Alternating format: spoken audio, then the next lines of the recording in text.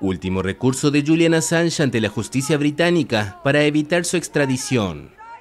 Dos magistrados del Tribunal Superior de Justicia de Londres examinarán durante dos días la decisión de una corte británica que el 6 de junio denegó al fundador de Wikileaks el derecho a recurrir su entrega a Estados Unidos.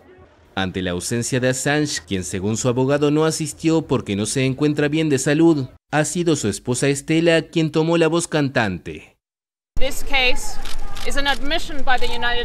Este caso es una admisión por parte de Estados Unidos de que ahora criminaliza el periodismo de investigación. Es un ataque a todos los periodistas del mundo. Es un ataque a la verdad y un ataque al derecho del público a saber. Julian es un preso político y su vida corre peligro. Lo que le ocurrió a Navalny puede ocurrirle a Julian. Tiene que ser liberado. Esta farsa tiene que terminar. Assange fue detenido por la policía británica en 2019, tras siete años confinado en la Embajada de Ecuador en Londres, donde se había refugiado para evitar ser extraditado a Suecia por acusaciones de agresión sexual.